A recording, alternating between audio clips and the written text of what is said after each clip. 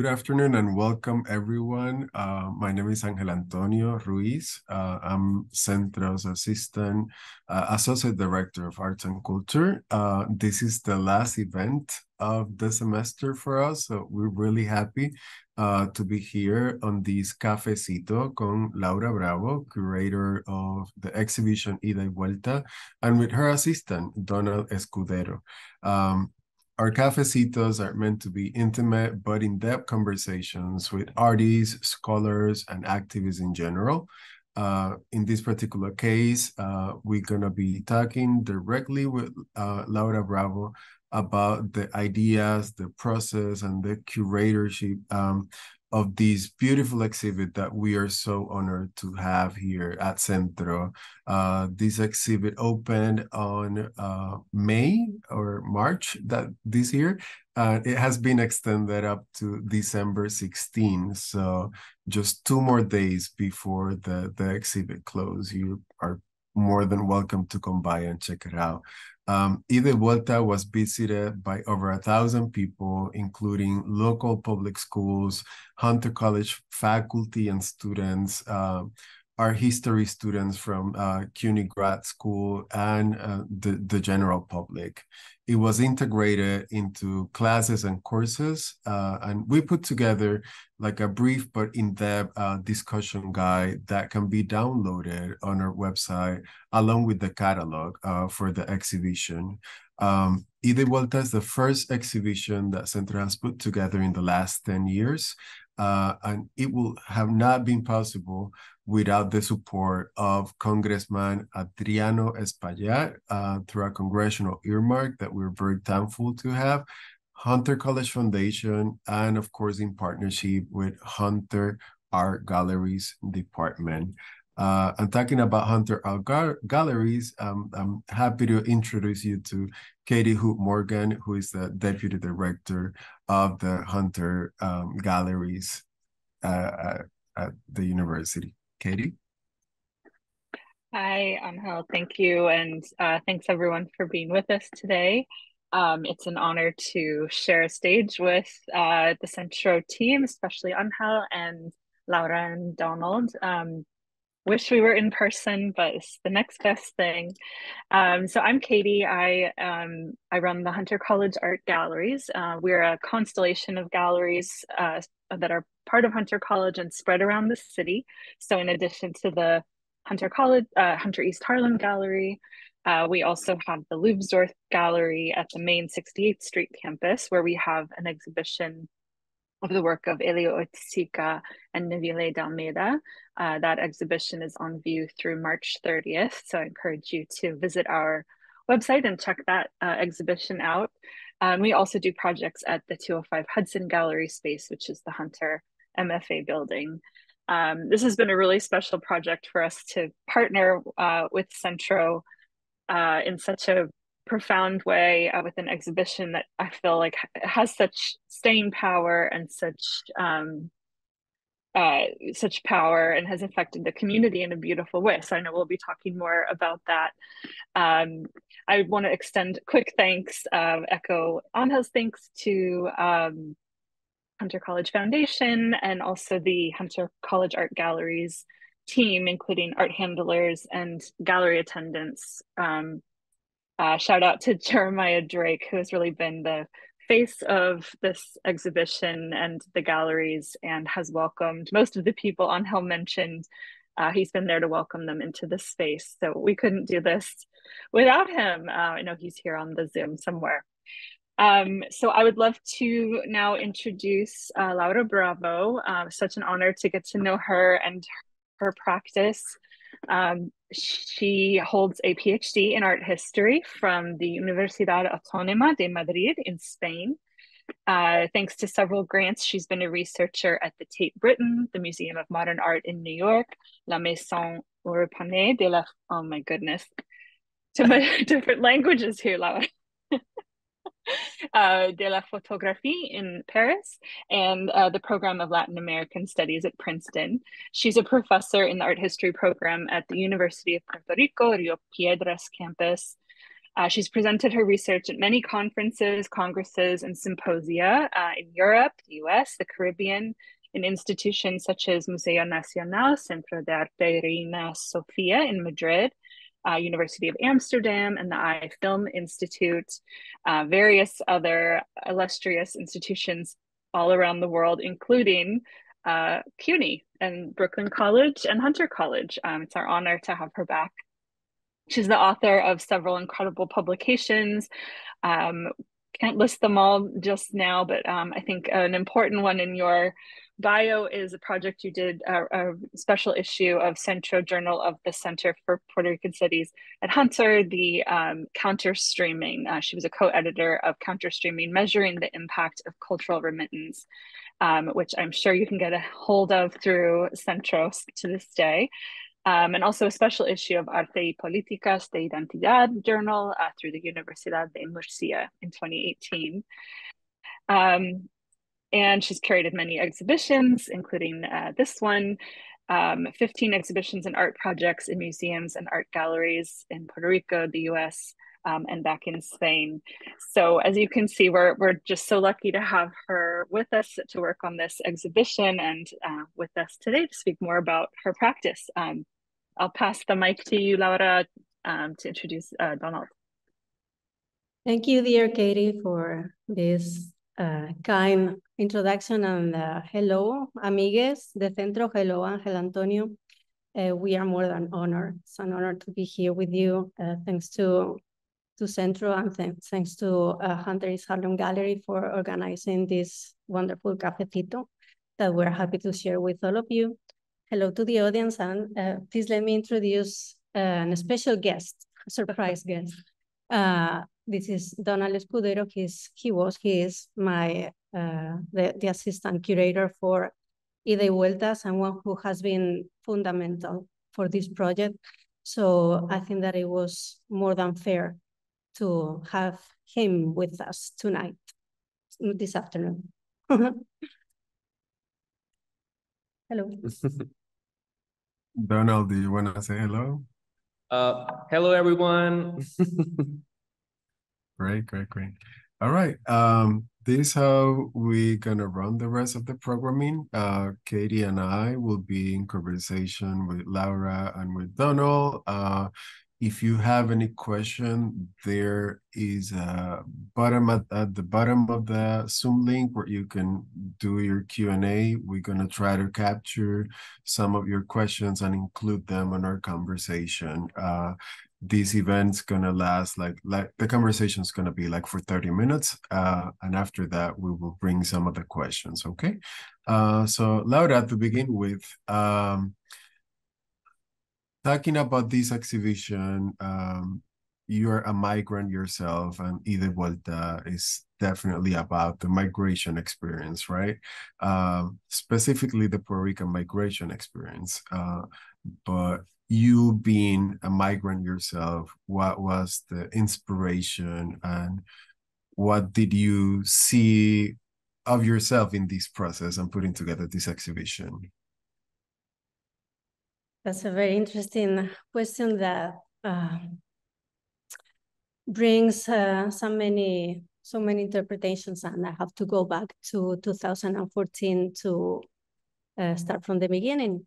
Uh, when we first uh, were working on the idea of an exhibition, uh, we started uh, thinking how artists have um, thought of how artists have conceptualized the an artwork, an object that can be interpreted as a uh, migration experience, as an, an um, as an experience of migration.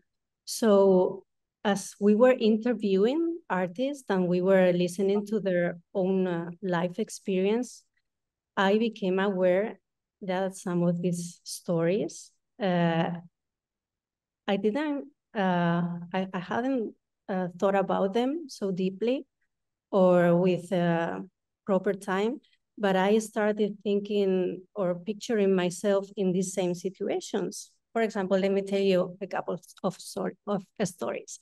And when we were interviewing Jose Ortiz Pagan, he was mentioning how was the experience of uh, living the island, uh, leaving his place of of uh, the, mm, his his family, his family house. And uh, he was telling us that uh, they made a big party, uh, like a farewell party, where uh, everyone was going to be very happy and uh, they were going to say good luck and bon voyage and uh, we wish you a very nice trip. And this party became something very sad, something like a funeral, let's say, because we are saying goodbye to someone you love and you don't know how the um, real experience is going to be. And I was picturing myself in this same situation, being in the airport, uh, having my family, saying goodbye when I was going to take an, an airplane uh, from Madrid to San Juan, and having this uh, sense of that everything is going to be fantastic and everything is going to go well. And I, when I saw my mother crying, all full in tears. And uh, I hadn't thought about uh, the fact that um, when she was crying, maybe she was sad because she was saying goodbye, or maybe she was uh, worried that she was aware that is, it was not going to be very difficult or very easy, sorry, uh, for me in a place where I didn't know anyone or that was four, mi 4,000 miles away from where I was living. And um, I started thinking myself, as a migrant. But not only myself as uh, someone who is working in a university or someone who is curating an exhibition, but also myself as a mother and as a daughter, uh, having my mom now for a uh, thousand miles away and having my daughters in another place uh, well, in my in my place, in the places where we where they were born in Puerto Rico, are so far from their grandma, from their grandpa, from their aunts, I'm from uh, this side of the family. So I started really analyzing myself. Uh, I have felt these things too, and I I also feel uh, homesick, and I also feel that it's difficult to be physically in one place and being mentally or being emotionally in another place, and uh, this sense of displacement. And uh, so, listening to artists and listening to personal experience experiences made me really think uh, about the project of, uh, I mean, in the perspective of being a migrant myself. Although I have to say that uh, when I was curating or curating the exhibition, I tried to be very focused on the, the fact that I was an art historian and uh, having the accuracy of the of my profession, uh, creating a narrative and creating something that people, the viewers, uh, could really relate to the personal experience or collective experiences of uh, being away from home, let's see.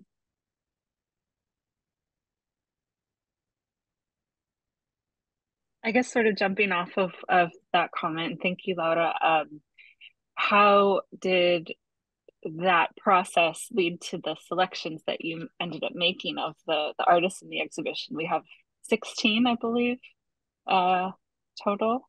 Is um, it more? 18, 19 artists. It was more. yeah. yeah. How did you make those choices? 25 artworks. Yeah. Uh, I try to detach myself personally of the selection of the of the artworks, and uh, we were really trying to make something like um, a story or a diary or a journey uh, when uh, someone who is metaphorically going to migrate has many fantasies and dreams. You can see this in the very first part of the exhibition with the Wheel of Fortune or the Roulette of Fortune that uh, you want to have a lot of success and you picture in your mind that everything is going to be uh, perfect and uh, fantastic. And uh, then uh, not so nice stories come when uh, you are in a foreign country or uh, in a country where uh, it's, not your it's not the place where you have been raised where you have roots where you can speak the language that you usually speak where you don't have family where you have to create another to create other other links or relations to people. So we were trying to give a broad perspective of uh, what the uh, diverse experiences of being a migrant uh, are from their own stories of these different artists. Uh, I would love Laura to highlight um, the image that we are seeing right behind you, right? El Velorio yeah. um, de Francisco Oller y Cestero, um, exhibited at Museo de Historia, Antropología y Arte de la Universidad de Puerto Rico. Um, this exhibition began there, right, at this museum. Was this artwork considered part of the exhibition somehow? Because Francisco, you're definitely someone who migrated. And also on this piece, we can see kind of the clash between, you know, different art techniques, uh, the impressionism, the realistic, uh, you know, can, can you talk a little bit more about that? Was it conceptualized or included as part of the exhibition or?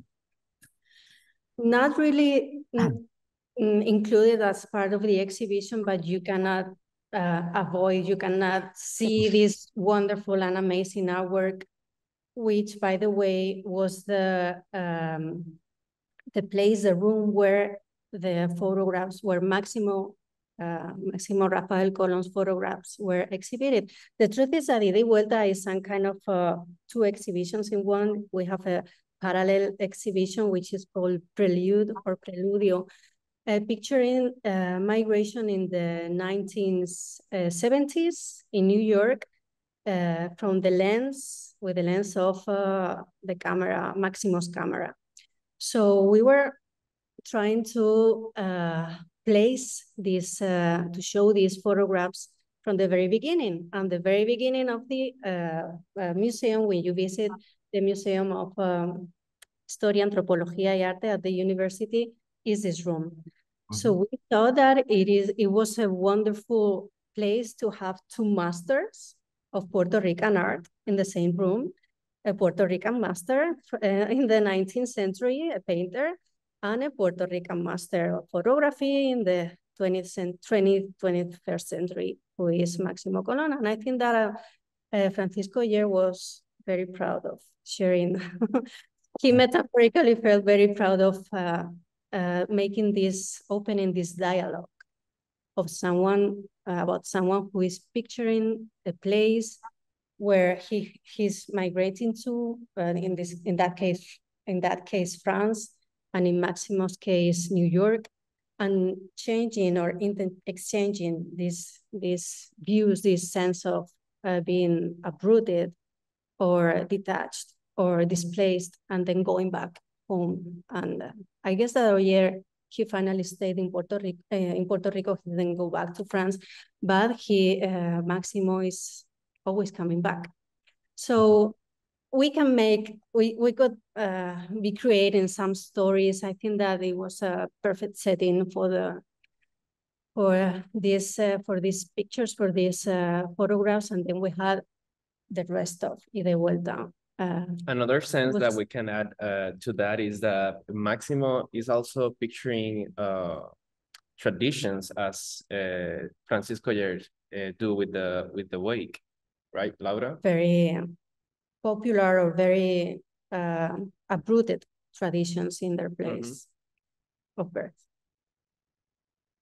So we some, some, somehow we we decided to be here with you tonight because we, this is where Ida Vuelta began in 2017, six years now. Although mm, the truth is that the project it began in 2014. So mm -hmm. in January we will be it will be a decade. Oh, wow. It's been so long. hmm? So much has happened since. Yeah, we are with Ida Vuelta. I think that there's so much to say and there's so much to see and to think about this exhibition and of the migration experiences that we all have in in first person or family, friends, and not only in Puerto yeah. Rico. Yeah.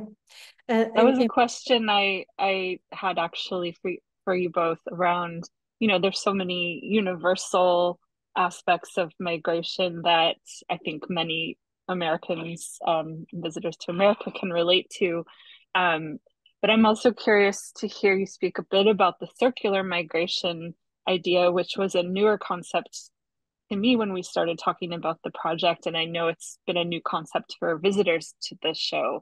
And I feel like that's emerged as a fairly unique Puerto, Puerto Rican aspect of the Puerto Rican migratory experience.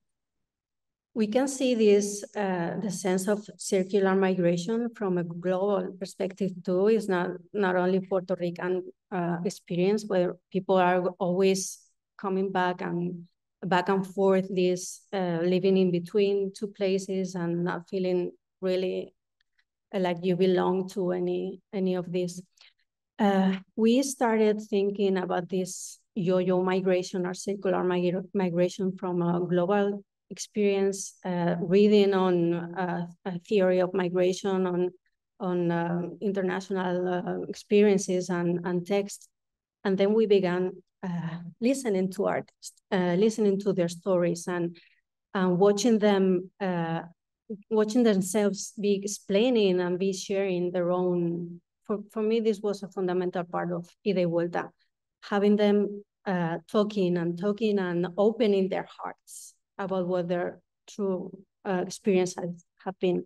This was a very emotional, by the way, very emotional part of of Ida Vuelta that uh, you also can see the viewers, the audience can see in uh, in a video that we created uh, where uh, we can see the artists talking about the experiences of uh, migration and um, and their work and um, where how they see their future, if they think that they are going back to Puerto Rico or they are staying some some places. And yeah, it's a very particular experience in Puerto Rico as we most of us know the the uh, this the fact of the, the experience of the Guagua aérea, the flying bus you take a, a, plane and in three, four hours, you can be in New York and you take the family and you go back in holidays and then you go back again to New York and or now Florida, which is the state that has more Puerto Ricans, uh, we guess, in, in the United States. So is this feeling or, or this experience, these real experiences of being um, from one place to another, always on the go, always uh, having your suitcase ready uh, because you are uh, coming back and going going back to the place you work. So this is um, yeah, it's a it's a sense of the even the title ida y vuelta. Uh, you know that you are going to go back. You leave, but you are with your mind when you arrive. When you get to New York, when you get to Florida, you're already picturing your travel back. When am I going to go back to the beach or to the wonderful sun and the palm trees and family. So, yeah, Angel. Please don't talk about palm trees and beach. I'm in New York right it's a windy day today. It's not very sunny today, just to make you feel good. But it's getting for Christmas. But I love this feeling of being short sleeping Christmas. I'm very Puerto Rican in this sense. okay. Uh, Lara, you, you briefly mentioned something about, you know, these interviews, you know, that you put together. It's, I feel like it's such an integral part of the exhibition, right? The set of interviews where you pretty much interview all the artists and um, um, why was it important, right, to include these interviews to give the artists their own voice besides what they can express in their artwork, right? Um, and and how that you know came together. I know that donald was a, also part of this beautiful project. Uh, if you can talk a little bit more about that that would be really really nice. I think we interviewed to be honest like Above 40 something 50 uh, artists curators art critics mm -hmm. and people connected to academia pedro pedro juan hernandez who by the way i think he worked in the central library um, pedro juan and uh, as I was telling you before, this experience was amazing.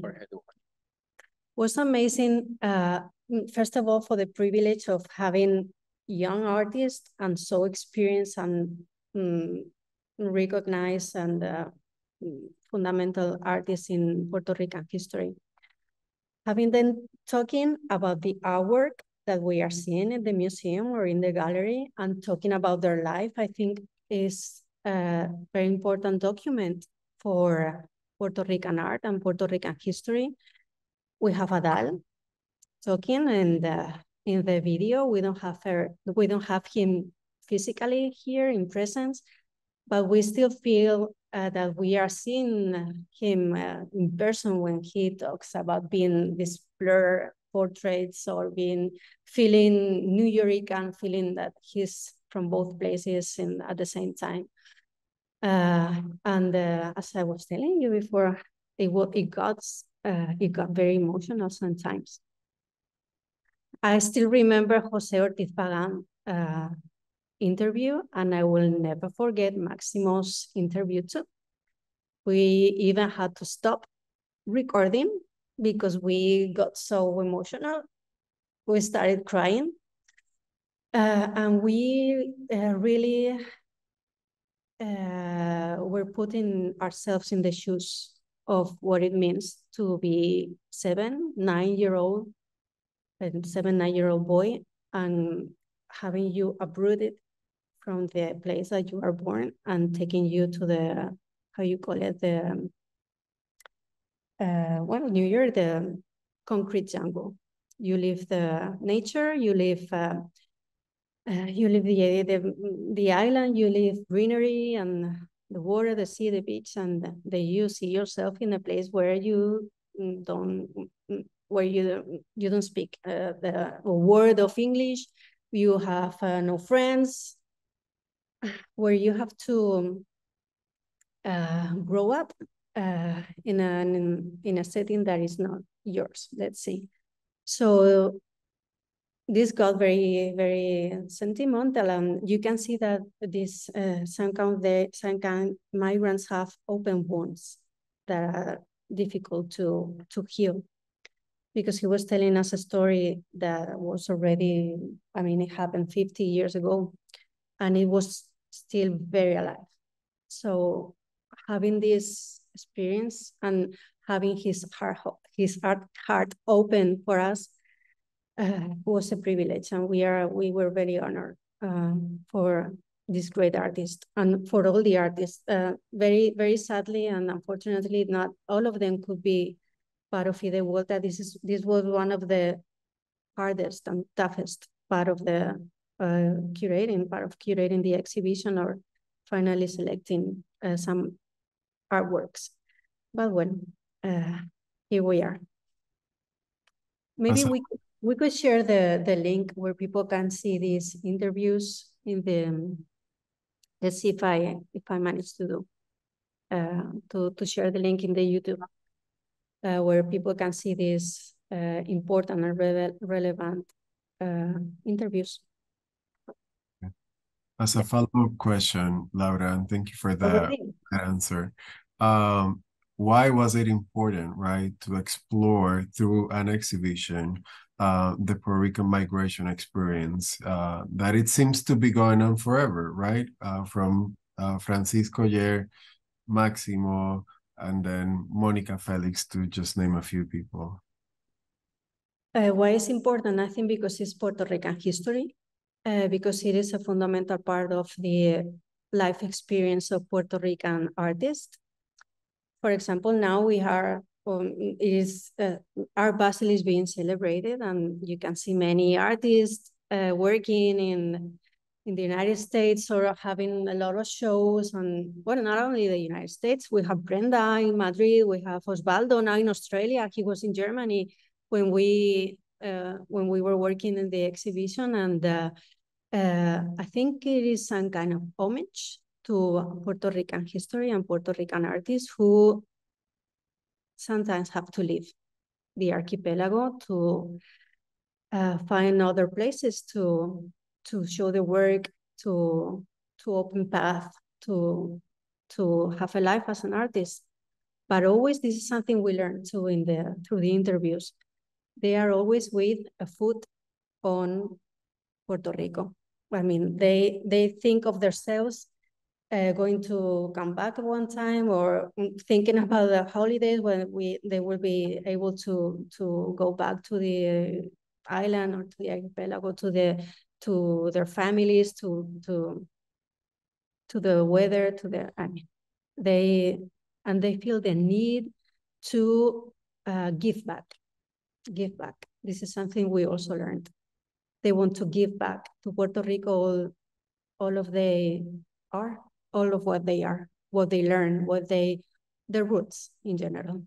And I think it is, it was our uh, attempt to honor this fact. And we had an amazing time. Six, well, 10 years now.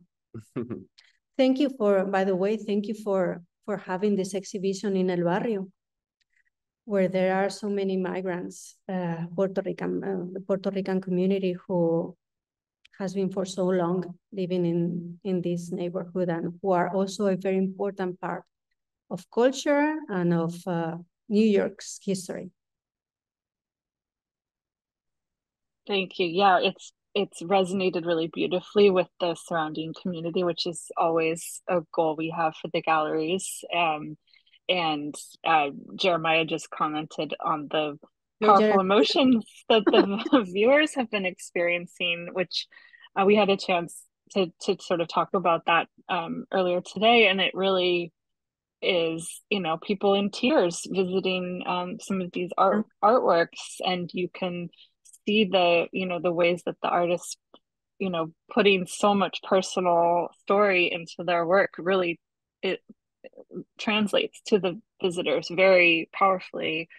Um, i wanted to ask how you know there's several works in the exhibition that are interactive and i was curious how you thought about those works as sort of another layer of that relationship uh, we uh, we were very happy to include interactive uh, works like Anaida's uh, Roulette or the Wheel of Fortune, Marta Mabel, the airplanes where you have to build your own airplane, and people love really, they really love being immersed in the work and being able to touch or to play, for example, the Vault uh, by Jose Ortiz Pagan, and uh, they begin playing and having a fun time and uh, with smiles on their on their faces. But then uh, they are aware or they realize that they are invited to feel the pain of a real migrant themselves. They feel the pain of uh, having to exit or having to leave the island of uh, having as an award or as a prize, they they have misery or they have defeat uh, once they once they travel overseas, and uh, then the smiles you can see that they turn into a feeling of uh, home being home, homesick or sadness or nostalgia in the end, um, and it was an invitation for people not only to break the walls of what a museum is supposed to be or what art is supposed to be, to invite also the community kids, people from uh, any any anyone from the community, but also to put yourself in the in the shoes of someone who is living the place the place of where they were where they were born, they they they they were raised, etc. So it was an invitation to live it uh, in the first person.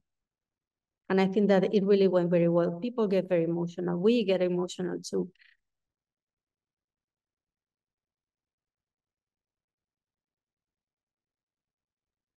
Um, if people oh, thank you. audience, of course, uh, and thank you. If people from the audience have any questions, please use the the box of questions right at the bottom of the um, Zoom window. Um, there's a question uh, from the audience. How does the colonial reality of Puerto Rico shape the migration experience of these artists? Uh, the colonial uh, migration was also very present, uh, not only in, by the way, not only the exhibition, but also in the catalog, which, by the way, I'm going to show here because you can read. And uh, I'm going to, to ask Angel Antonio to share our newly published uh, uh, catalog in Centro, digital catalog. So it will be uh, open for you and ready for you to, to read in your computers or devices. It was very present and it was analyzed by a scholar that we are very thankful mm, and we it was uh, fantastic his collaboration with Dr. Jorge Duany, uh, talking about how well yeah uh, Puerto Ricans have a U.S. passport, but um, having uh, the experience of being in the United States um, doesn't make you feel like uh, you are really from the United States, but uh, also feeling like uh, feeling like an outsider or feeling like uh, it's difficult to put in words or to put a label. Um, it is also very um, described with uh, stereotypes, with, which is something that um, is also very present in, in Ida Vuelta stereotypes and labels.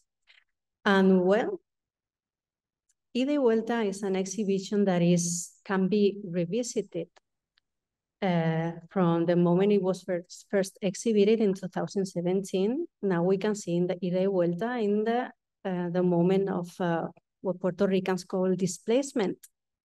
For example, by uh, Law 20, where um, something that has caused young people to leave uh, their places, their, their, their professional lives, um, in Puerto Rico, for example, doctors that we also see.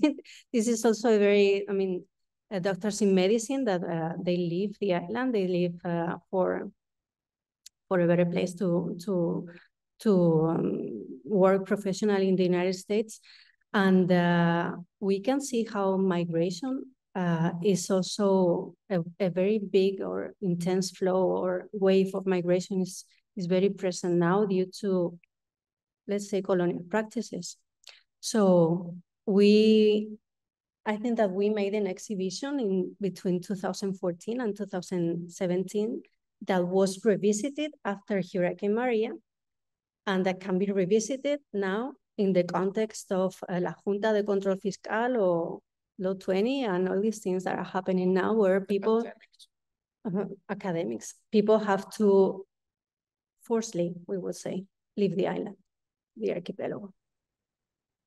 If you were about to, and this is gonna sound a little crazy, to do an Ida y the second part uh, after Maria, what are the artists that you think you know should be included on on that exhibition? Simple question. we're just trying to use simple questions today. I think that Hurricane Maria was uh, an experience, a trauma that really changed our lives. And is, I mean, uh, let's say something crazy too. It's impossible to see ourselves uh, as the same persons before and after Maria. I think that artists, uh, people in general, any of us, uh, are mm, are someone before and after the hurricane. So any artist would really say that Hurricane Maria has changed their experience, their way of their their vision, their their way they they create artworks. But um, I will I will stay very I how, will I say a very um, I don't know discreet. I think that these artists and these artworks work perfectly picturing migration before and after Maria. Uh, the exhibition opened in February 2017, then it closed it closed because of a strike in April, but that's another. Uh, in a second cafecito, I will tell you about it. uh, but it, it was also closed for uh, in September after, well, in Irma, September, um, the first days of the September, because there were two hurricanes, Irma and Maria then.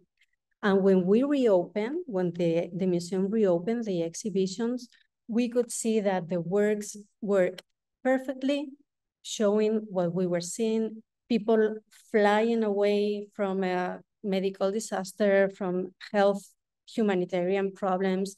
So um, these artworks in Ida Vuelta um, were some kind of envisioning something that was really going to happen uh, in the 20th of September 20, 2017. So they, all these artworks really, really worked uh, after Maria.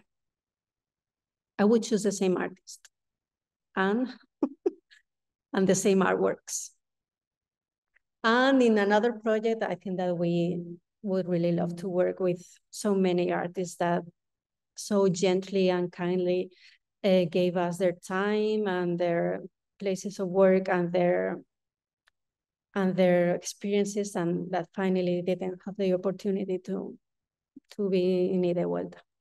But we will work in other projects, I guess. I'm sure. Thank you for that. I'm glad to know that there's going to be other projects. Um, going back to the colonial situation, you, you just mentioned the passport, right? But we do have a piece in the exhibition, which is a Adal Maldonado passport, right? Um, can you talk a little bit about the importance of having that, uh, you know, imaginary thing that's part of the exhibition and how powerful that is in the context of a country that is a colony that doesn't have the right to have their own citizenship and how that shapes, you know, the, the whole experience of, of the exhibition? Adal Maldonado, he was a, a visionary and uh, uh, I love his work because he could really, uh, from fiction, he was picturing something that is very real.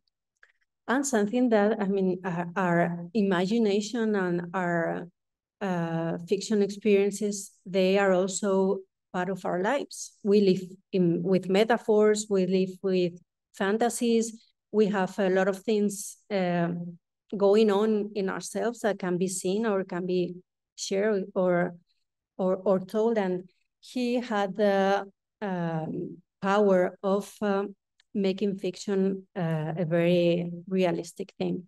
This um, Puerto Rican Republic, the passport of the Puerto Rican Republic uh, was mm, a perfect uh, metaphor of what it feels to uh, being Puerto Rican with uh, an American or a US passport, uh, feeling that you are none of those, but the, but both at the same time.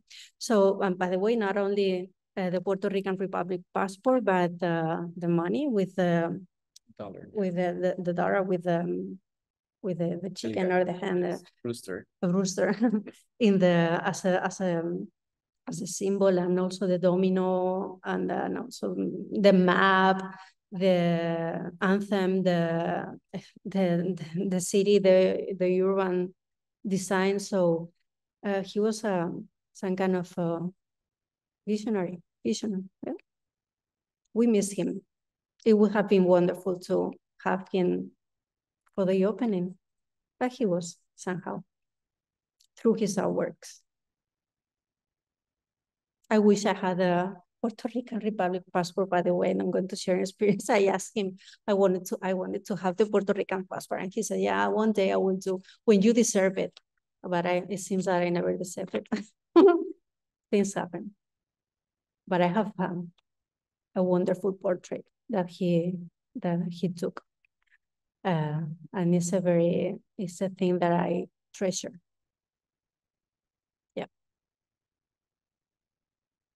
I want to add something. Please. Um, talking about the passport, uh, some artists and um, told us that they don't. Well, we discovered in the, in the path that uh, we don't deal with uh like a political migration. Uh, instead, we, Yeah. we deal with the with a political. It's not a real migration because you know that you have an American passport and this is not migration, but but it's a cultural migration. language. I mean, the moment Mhm. when you leave your family, you leave the place where you were born, the place where you belong, or you feel that you belong, you change your geography, you change your language, you change your people you know. Uh, that traditions, is migration. your beliefs.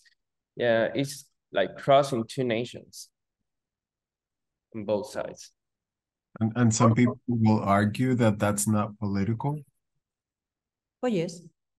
Well, poli- political in terms of the, you know, the Legal, papers legal. and forms and Because of def- the, of the document, because of the passport. yeah, but definitely that's political too.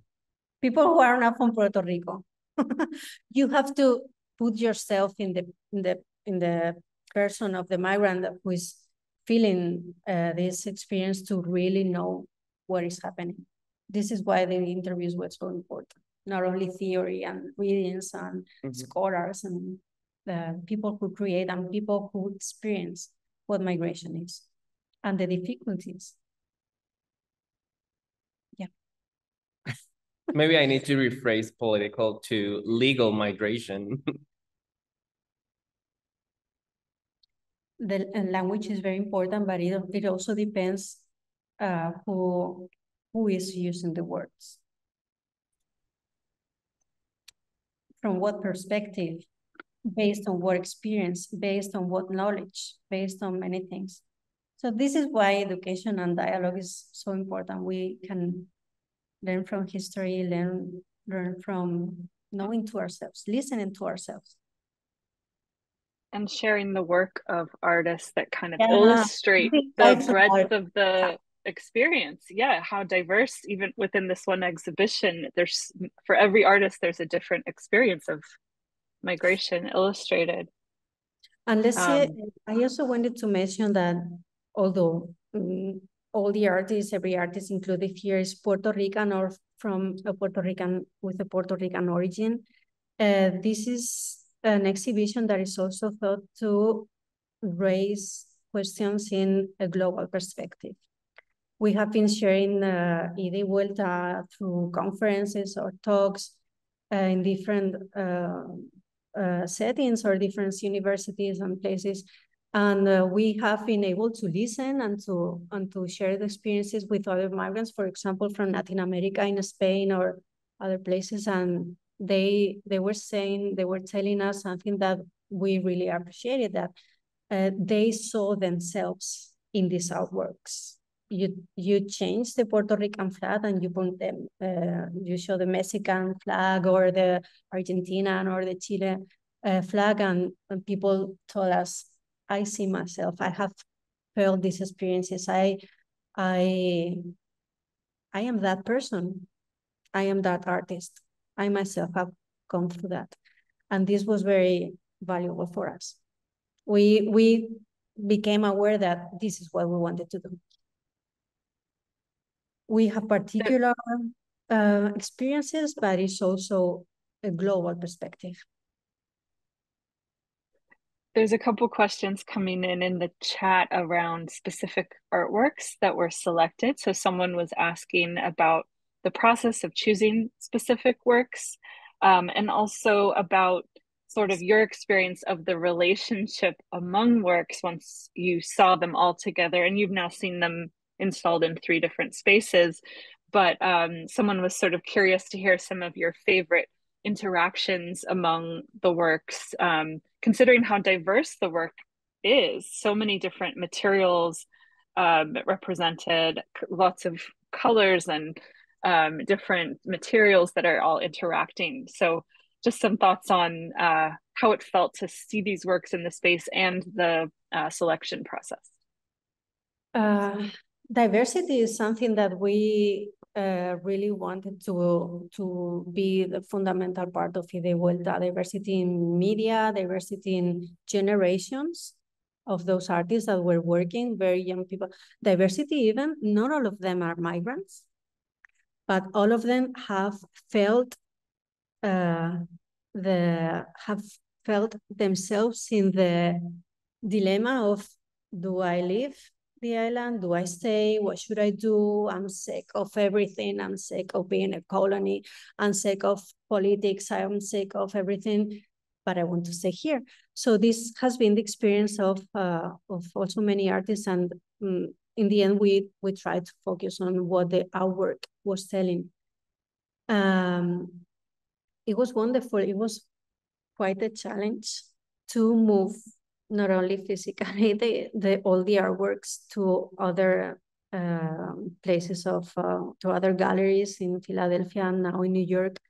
It was a challenge to move Ida Vuelta that was made for this museum to a very different um, setting, design with uh, a different uh, scale, uh, spaces, walls, it was like uh, trying to to make a puzzle, like a Tetris. And uh, we made it in the end. We we had something very clear and very difficult, and that was that we wanted all the artists to be part of Ida Vuelta in Philadelphia and in New York. We could not think of Ida Vuelta without even one artist. And we finally made it with not only all the artists, but all the artworks, at least if it was a series, one, two, three, four. I know I'm very, I can very, I can get very intense with my co-curators and with my partners in other places. Uh, there was always a place for all of them. And uh, I think that it was, in this sense, it was something very success, successful, all the artists being represented and feeling that they are part of Ida Vuelta, no matter what. That's wonderful. And thank you for pushing for that because, you know, the exhibition itself deserve it and the artists deserve it.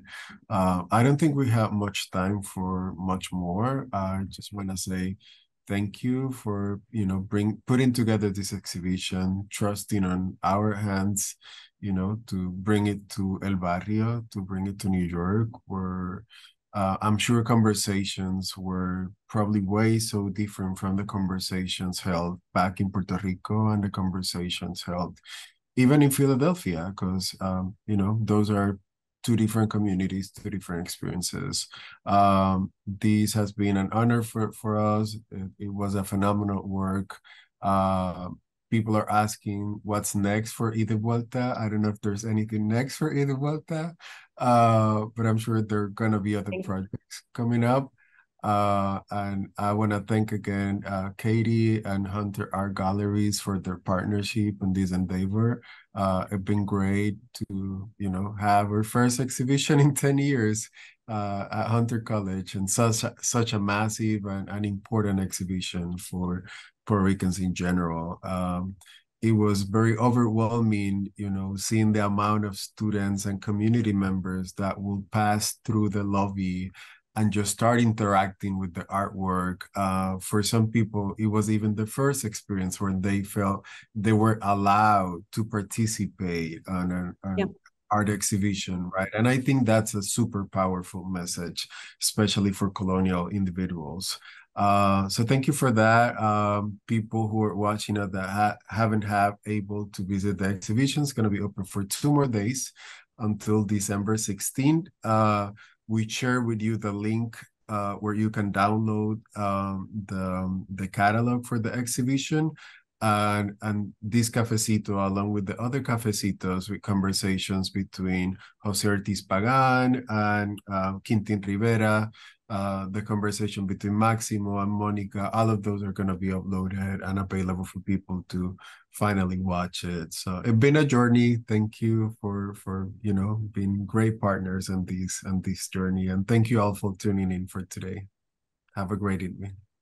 Thanks, Thanks everyone. As always. Hasta pronto.